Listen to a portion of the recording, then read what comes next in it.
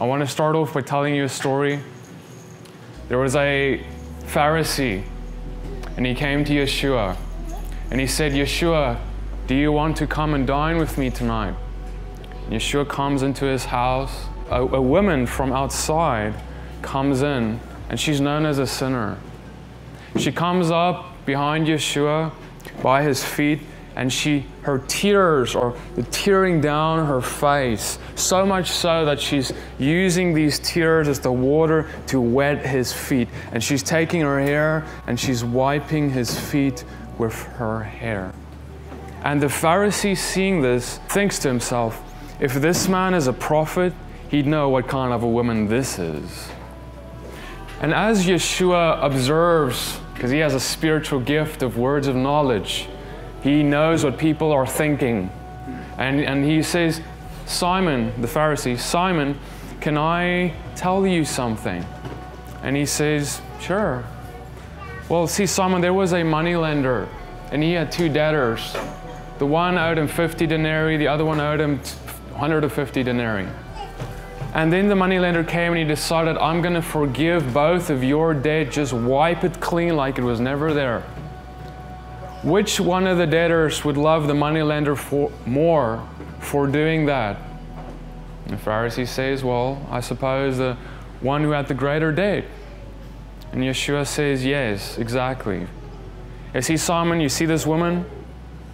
When I walked into this place, you offered me no water, but she has not ceased to water my feet with her tears. You see, Simon, when I walked into this place, you offered me no kiss, but she has not ceased to kiss my feet. You see, Simon, when I walked into this place, you did not anoint my head with oil, but she has not ceased to anoint my feet with ointment. You see, she had many sins which are now forgiven, for the one who is forgiven much loves much. And that's, that's the end of the story. That's where he leaves it. And it's kind of like, I wonder what he was, Simon was thinking. He, he likely thought something like, well, yeah, that's a good point. She's, she's the way she is because she's a sinner. I'm so glad I'm not like her. You see, but he, and he likely missed, I don't know if he ever got the point, but he likely missed it. Because, see, he thought of himself. You know, when you look at what he, Yeshua did for the woman, he told her later in the chapter, your sins are forgiven. And he also told her, number two, You are saved. Like he told her, he gave her assurance of forgiveness and assurance of salvation. And he didn't tell any of that to Simon, to the Pharisee, to the host who was inviting him. The woman, the sinner, walked away justified, and the Pharisee walked away with nothing. You see, Simon thought that he had less sin than she did, but yet he walked away with all his sin. She walked away with none. But th- because the reality is, is even though he likely was a religious man, he, he went to synagogue every Sabbath, he, he kept his Sabbath, his feast days, he, he had it all in line, his ducks in a row. He may even be in the leadership at the synagogues or the Sanhedrin, who knew? He was a holy man. That's definitely what he thought. But was he? See, because honestly, when you look at how Yeshua treats him, he treats her her as a righteous woman and him as an unrighteous man. But it's flipped, does, isn't it? But see, the thing is, that the Pharisee didn't see his own sin. The greatest of which was that he thought of himself as so much more holy, clean, righteous compared to this unclean woman, this sinner who knows where she's been.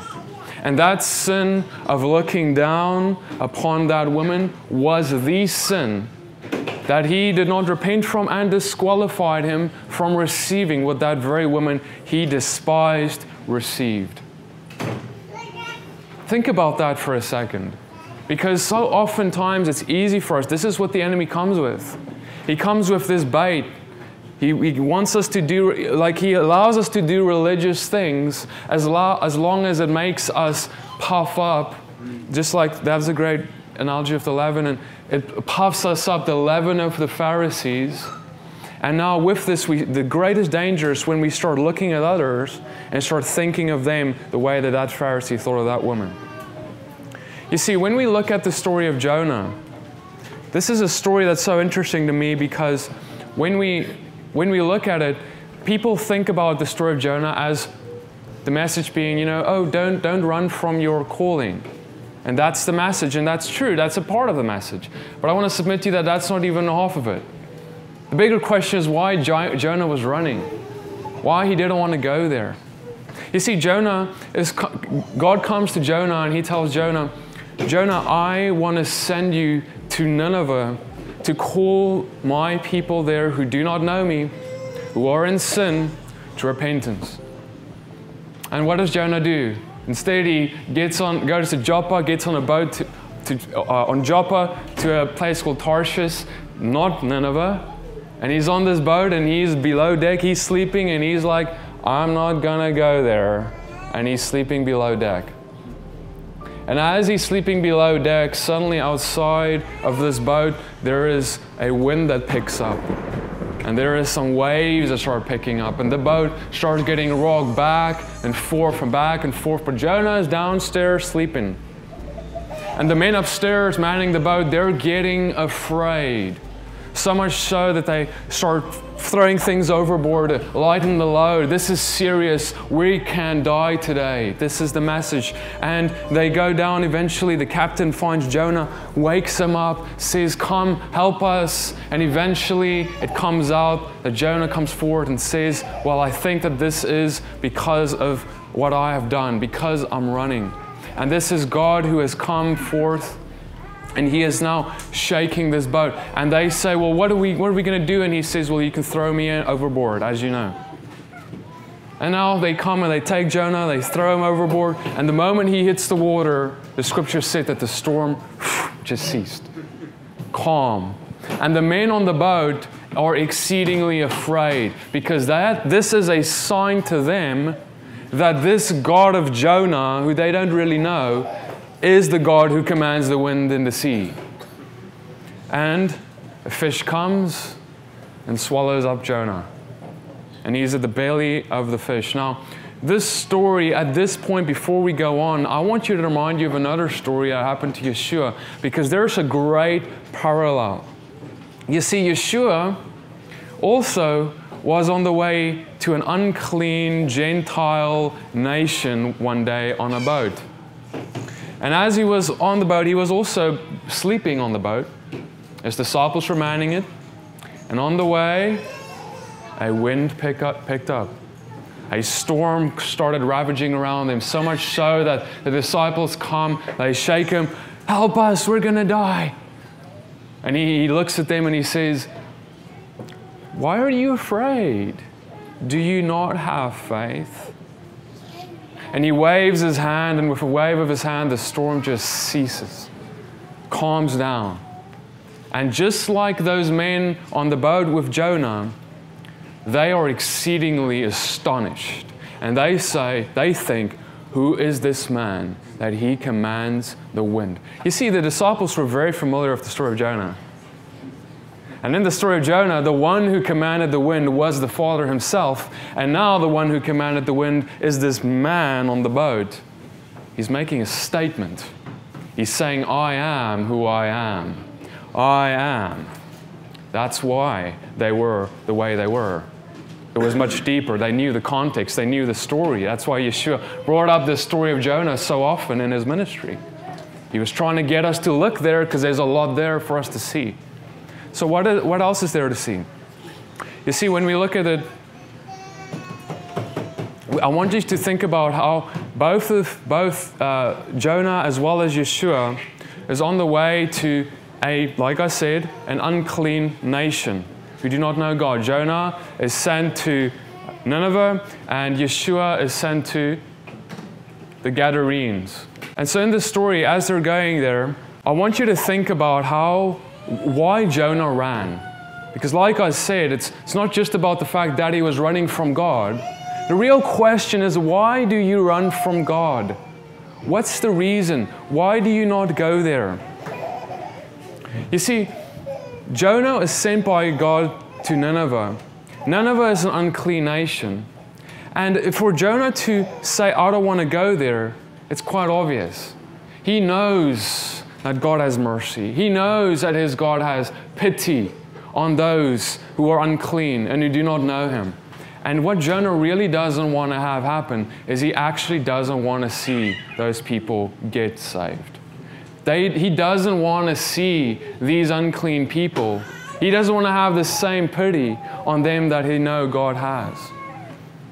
And this is why, this is the thing that keeps him from going out there. See, brothers and sisters, I want to ask you the question. My fear has been that sometimes, if we dig deep, one of the real reasons that some of the people in this movement don't are so hesitant at reaching others, going out, sometimes it's because we don't actually want them to have what we have. Because some of us have become so comfortable with this as becoming who we are. We are Hebrews, we are Israel, we are all these things, and they outside are not. And as long as we can be here and say who we are to each other and, and sing kumbaya together, we feel special, right? Because it makes us unique. It's the same thing that that Pharisee with that woman was in. He was a Jew. God is of the God of the Jews. He is not the God of the sinners. That's how he thought of it. Even today, many think so. And in this movement, we face the same danger. It's a religious spirit. That spirit of that makes you think, oh, I, I don't want really those people because first I hate them. I don't want them to come to God. And even if I know my God is the type of God that wants their hearts, I don't know if I do. You see, think of that because this is why what happened to Jonah happens to Jonah. But see, Jonah's on the boat. Why does he not, when the, the captain comes to him and says, Call out to your God, do something, help, uh, you know, let's, let's try and. Jonah doesn't. He's on the boat, he, he, doesn't have, he doesn't call out to his God. Why not? Well, Jonah's busy running. You see, Jonah's busy in rebellion. And he feels that because I'm in this place of running in rebellion, I don't know if I, I am not going to speak to him right now. It's kind of like Adam and Eve. In the garden, Adam and Eve, they sin. They're in, they're in that rebellion. And what do they do? They run, they hide in the bushes because they believe that God is just like they are, that God is unforgiving, that God has no pity, that God would never forgive them for doing that, but they were wrong. God walks through the garden and he calls their name. Why does he walk through the garden and call their name if he's abandoned them? If he has no forgiveness to offer? If he has no pity on them? You see, sometimes we think of God as being like how we are. We think of how someone has hurt us, and we think of how I don't know, I don't want to have mercy, I don't feel like it. Well, God is different than you are. And that's why he sent Jonah. God is different than Jonah. That's why he sent Jonah. Jonah knew it, but he didn't want to go anyway. You know who your God is. You're sitting here. Will you go, even if it's to a people you don't really want to go? Because here's the, the scary part. When you think about Yeshua's journey, he's on the boat. He's going to this unclean nation, just like Jonah's going to an unclean nation. This is the story where Yeshua gets to the destination, gets off the boat, and he is faced with these demoniacs, these people who have demons. And he, this is a story where he casts the demons into pigs. And what happens to the pigs? The pigs run into the sea and they drown. The same place Jonah went, tossed into the sea.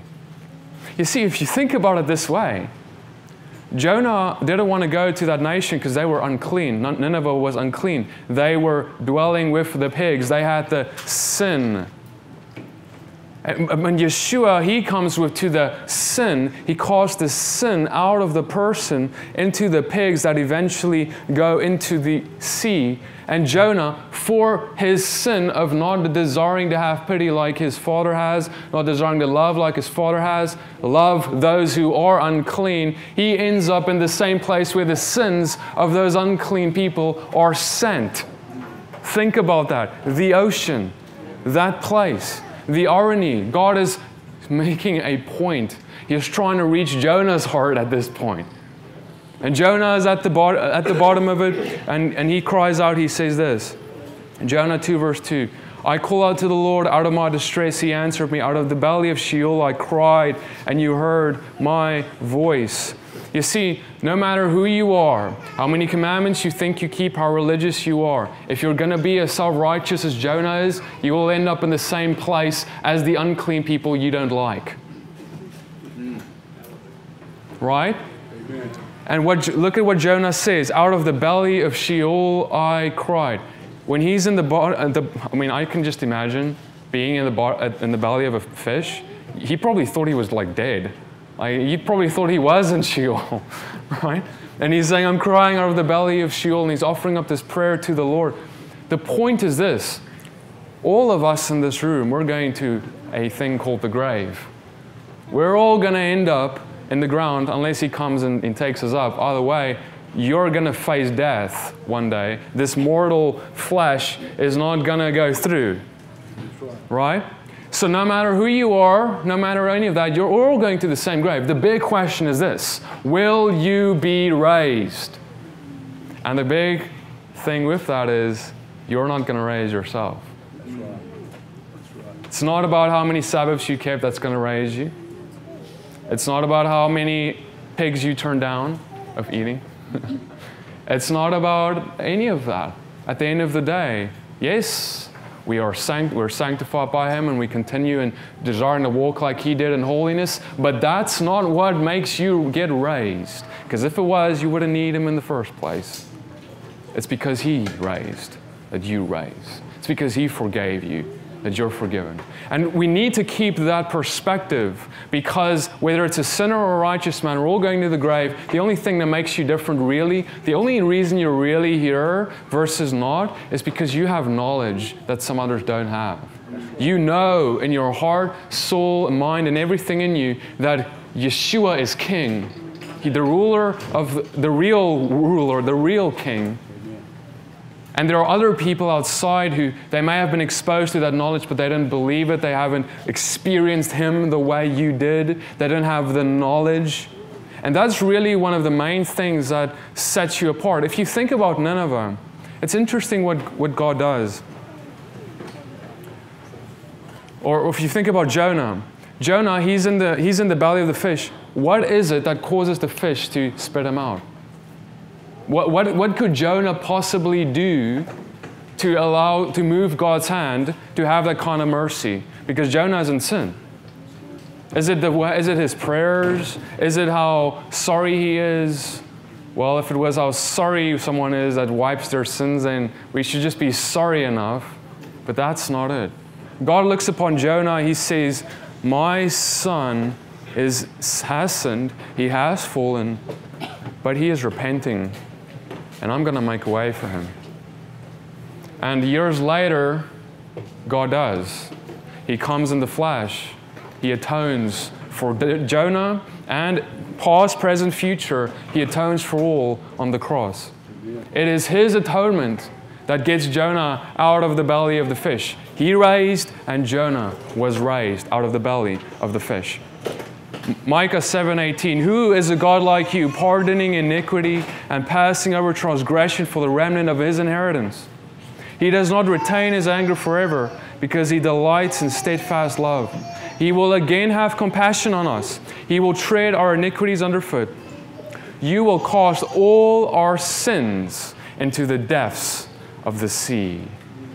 You see what Yeshua did was when he came to those men those unclean people who he was supposed to hate, like Jonah would have. What does Yeshua do? He recognizes there is a son of mine behind this demon oppressing him. And he casts out the demons into the pigs, into the sea. You see, Yeshua was able to love, unlike Jonah, because Yeshua made distinction. Yeshua understood who his real enemy was. Some of you want to tear each other apart or tear others apart who don't think the way you do. But here's the deal you are just as blind as Jonah in that case because you're just seeing a demon and thinking that's the person because you're not making distinction the way that Yeshua did. Yeshua said, This is my son. There is a demon. I am casting out the demon because that's my enemy. He came to destroy the kingdom of darkness, not people.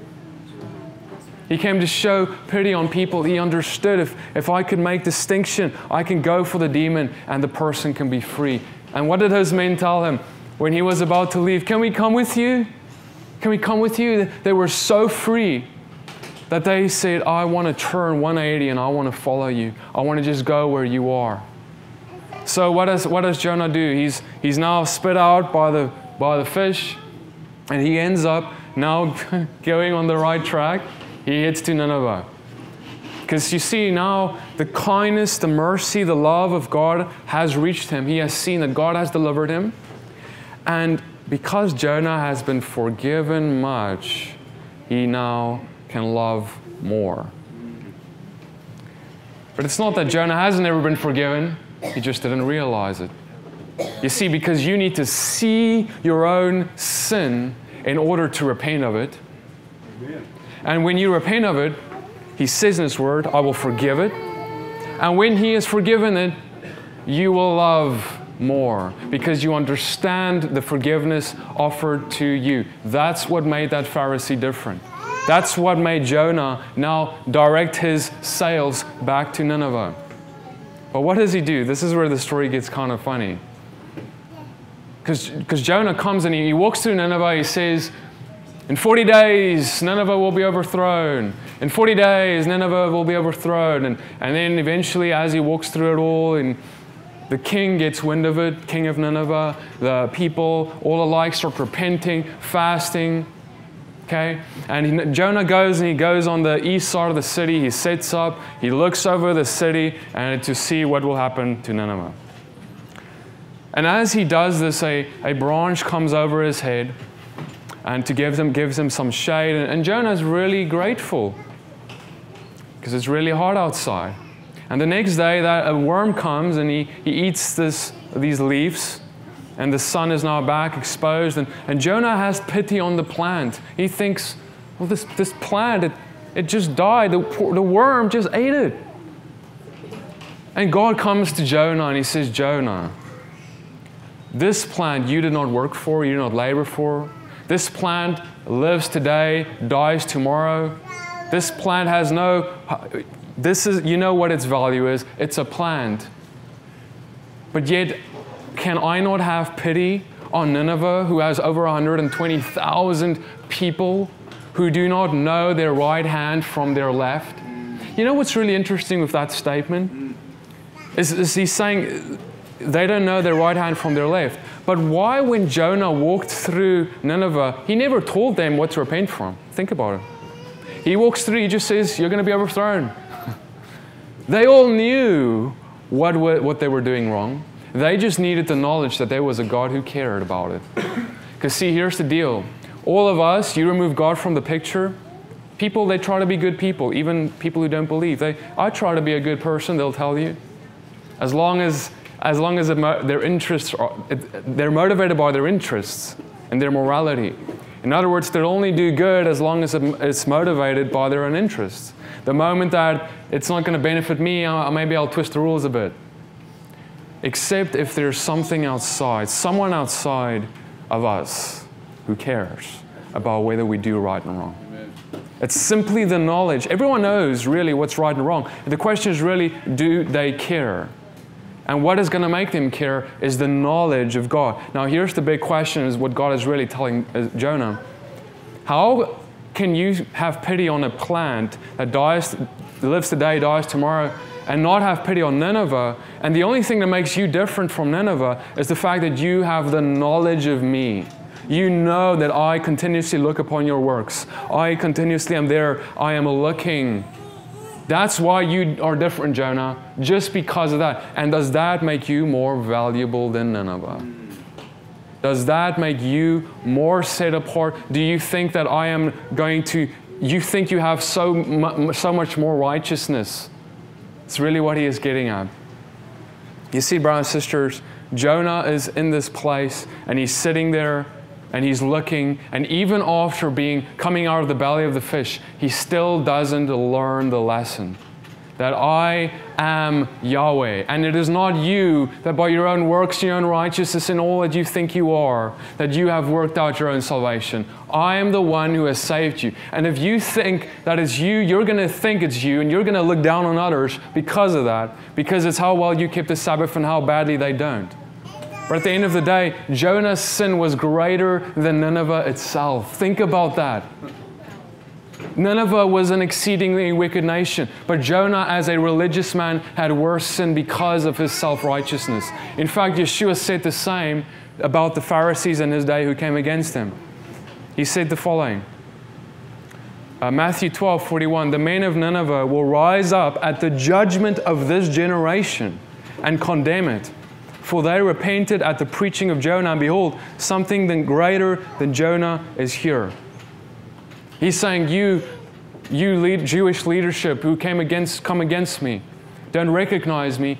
Nineveh will rise up, that wicked nation will rise up in judgment against you. And what was the greatest sin? This is the great. This is the craziest thing. What's the greatest sin that these Jewish leaders who came against Yeshua had? That they, that every t- they even wanted to stone him in the, in the book of Luke why? Because he got up there talking about how God had mercy on Gentiles and pagans before. You see, they couldn't take it that God would have mercy and pity on an unclean nation. Just like yesterday, we talked how God had to come to Peter. This was pervasive, this idea. And this idea is the, the, one of the greatest dangers that is faced by men and women of God alike who go to church because that's what causes us to not want to go forth. But here's the crazy thing that, that captain who came on the ship to Jonah, he says this Call out to your God. Perhaps your God will have a thought to us that we may not perish, right? Brothers and sisters, just like that captain came to Jonah on that ship, there are people around you, all around you, when you go into this world, whose souls are crying out because they're on boats who, that are being rocked. They are in a storm. Because, see, if, if Yeshua is not on the boat, if Yeshua doesn't wave his hand, they're on a storm. And they, if they don't have Yeshua, that storm is just getting worse and worse and worse. And their souls are crying out, and they don't even know it to you because you're the righteous man on the boat. And they're saying, Call out to your God that He has mercy on us. You see, these men didn't even know what they were really asking for because they didn't even know who Jonah was nor who his God was. But their souls were crying out. And this is what is happening around you. When you walk in that man who looks really angry at God, his soul is crying out for God. And it is you who should go and not be like Jonah. I mean, can you just think? Jonah's on the boat. These men don't even, how could it be that he's a prophet of God and these men don't even know who his God is until it's at the end of it? There's something wrong with this picture. Jonah didn't want to have these men even on the boat see, see repentance, just like Nineveh. So, where is our heart with this thing? I, I, am quite surprised because it says in Jonah 3, verse 4, he go, went into the city going a day's journey, and he called out, Yet 40 days and Nineveh will be overthrown. And that's all he did. That's what it says. He just did that. He just said that. And that's what caused him to repent. I'm surprised because that must have been the Spirit of God that just moved on these people's hearts because it wasn't Jonah's words, let me tell you, that made anyone want to repent. Because if someone walked through this city or that city and just started screaming that the streets, you really, who's going to listen? Why would I listen to that? I don't even know any of what I'm, who is this God? And there's none of that is given. You see, God worked, and the Spirit of God can do that as He did. But God works through Jonah despite Jonah. You see, God, God has, had to get him there. Jonah never, even by the way end of it, even after being through the fish, Jonah still didn't want to. God worked through him despite him. My question to you is look, God's going to work through you. But is He going to work through you despite you or because of the way you love? Amen. Because Jonah had no love, but thankfully, our Father's love is even greater than a man's, and greater than a man who doesn't want to show pity, and greater than a man who doesn't want to love. God will use him regardless, but Jonah's still going to stand before God, and he's still going to have to say, Why didn't you love the way I loved? Why did I have to really, why were you like a barrier? I did what I needed to do, but you were. Do you understand, brothers and sisters, how many of us are sometimes a barrier because and God has to work through us despite our issues, despite our how we see people, despite our hearts that don't really want to see someone come to repentance. And you know, you can say, Peter, I'm not like that. Well, your actions speak louder than your words. Because if you if you if Jonah really wanted Nineveh to repent, he would be in Nineveh from the get-go God told him to. That's the thing. He can say what he wants, say what he thinks, but at the end of the day, if you want if you really are breaking for the people, if you really have passion for them to, to see them come, you'd be out there. And if you're not out there, you can come and tell me, oh, I love all people, and you can tell God that, and I'll say, all right, I hope so. Because if you're not out there, your actions speak louder than your words. Because I bet you Jonah, he would have been probably, you know, like, oh, you know, I love all people, you know, because I'm supposed, that's what the book says I should do, love my neighbor. Oh, yeah, I do that. But did he? Did he? You see, I want to tell you another story. There's a man, his name is Pilate. He's up there, and he tells the crowd, On this day, this feast of Passover, I will release a prisoner unto you, whomever you desire anyone you want. And the people, it says this, and there was one named Barabbas, which lay bound with them that had insurrection with him and had committed murder in the insurrection. And Pilate answered and said again unto them, What will you then that I shall do unto him whom you call the King of the Jews? And the people, they look and they cry out, Crucify him! And Pilate, he, he's, a, he's a pagan. He's, he, he's just, he's not a religious man. But he comes, he's astonished. He says, whoa, whoa, wait, what do you mean? And he, what do you mean? And he says, what evil has he done? What has he done? And, and they cried out all the more exceedingly, crucify him. You see, in the one corner, we have a man, his name is Barabbas, an insurrectionist of Rome, a murderer, a sinner of all sinners, there's nothing that he's got going for him. He is enchained, awaiting conviction and execution, most certainly. On the other hand, in the other corner, we have a man, his name is Yeshua. Some call him the King of the Jews, some call him the Messiah of the world. And as far as we can see, none of the accusations that came against him bear any weight. The, the witnesses don't even agree. He's never murdered anyone in the in his heart, never mind in his hand and in his flesh. He has never dishonored his mother or father, never coveted anything that's not his, never looked at a woman with lust, never lied, never stolen, never gossiped, never done anything wrong. And yet they cry out to him, Crucify him. You see, when I look at this event, it's the single most unjust moment in all of history. A murderer versus a man who has never sinned, and there's only been one of them. And they pick the worst of the worst, the sinner, the murderer. But you know what's crazy is that I'm a part of this story. Because in that crowd, when they were crying out, Crucify him, I was standing in that crowd, right there. I was crying out, Crucify him. Because at the end of the day, it was the sins of the people who was crying out, Crucify him. Because at the end of the day, it is your sin that was the cause for him to go to the cross. But you know that guy Barabbas, that horrible sinner? I was just like him enchained by my own sin, awaiting conviction and certain execution. Because my sins, they're going to lead to death. But a man comes and knocks on, opens Barnab- uh, Barabbas' cell. And as the cell door squeaks open, he says, Barabbas, you can go. I mean, can you imagine? Barabbas, he's in, he's in chain there. He's thinking, what, what do you mean I can go? I, I did this. I, I, have made peace with my destiny. I am going to die. Romans have captured me. I'm here. I am a murderer. I, this is how it goes. No one has ever been out this way. What do you mean I can just go? Barabbas, just go. There's a man, the king of the Jews, Yeshua. He is dying instead of you.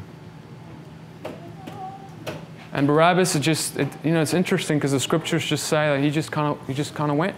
He just, he just kind of ran. And as he ran down the stairs, he probably ran by Yeshua, probably got a glimpse of him there. But the scriptures don't say Barabbas was like, hey, hey, I owe you everything. Thank you. For dying, you know, instead of me. No, he, he just, he just kind of goes. And he, he doesn't really take a second look and it's kind of interesting because he had a second chance at life. And this second chance of life was so amazing for him that he didn't even take a second look at eternal life standing right there.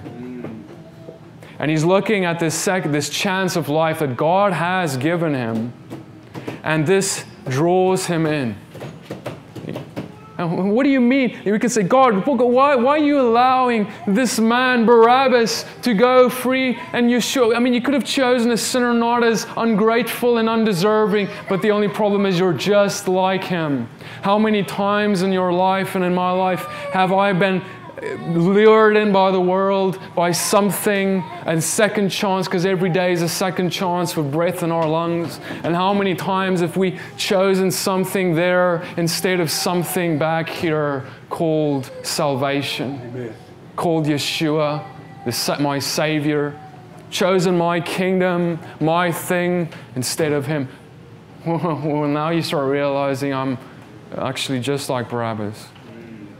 You see, Brothers and sisters, I deserve the highest cross. I deserve the deepest, darkest pit you can find. And you can get the hottest oven you could find, and you can throw away the key after throwing me in there. And I deserve every bit of it. You say, Petey, you don't look like such a bad guy.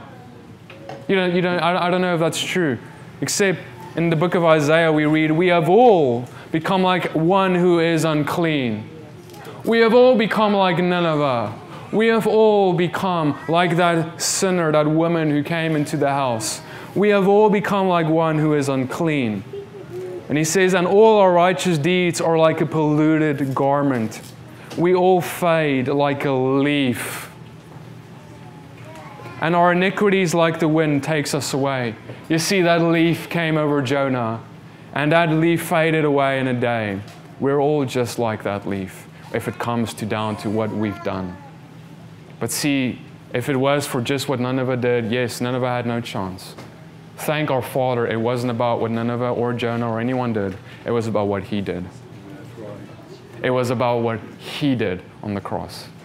And so now we see this, this, this, this picture Yeshua, I'm the one who deserves all that. Yeshua, the one who doesn't deserve any of it. And while Barabbas walks away, I believe in, in my heart that Yeshua probably prayed to his father and he just said, Father, that's okay, let him go. Take me instead.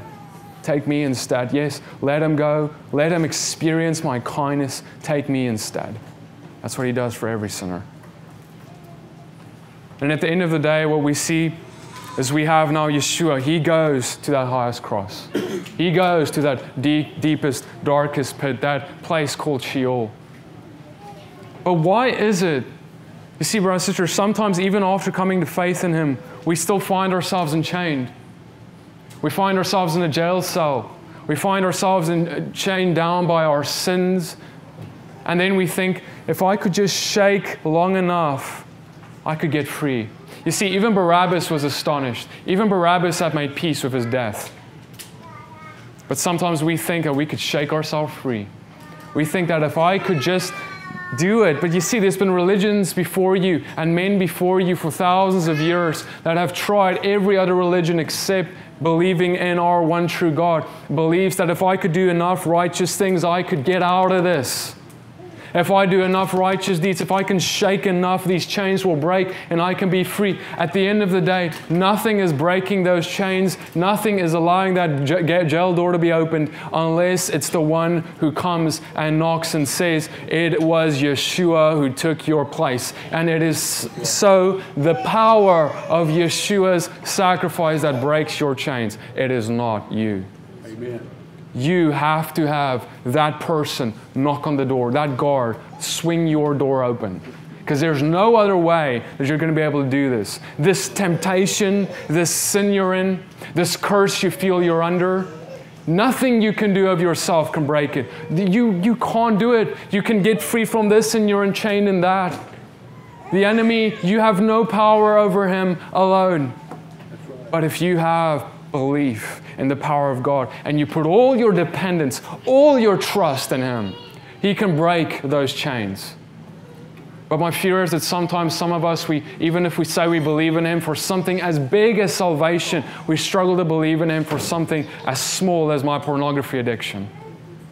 As small as the fact that I run my mouth with my kids in anger and wrath as something as small as the fact that I covet things I ought not to covet, or look upon things I ought not to look, or the fact that I struggle to honor my father or mother, or the fact that I, whatever it is, you say, Yeah, let me just try a little harder next time. I'm going to be able to do this. No, you won't.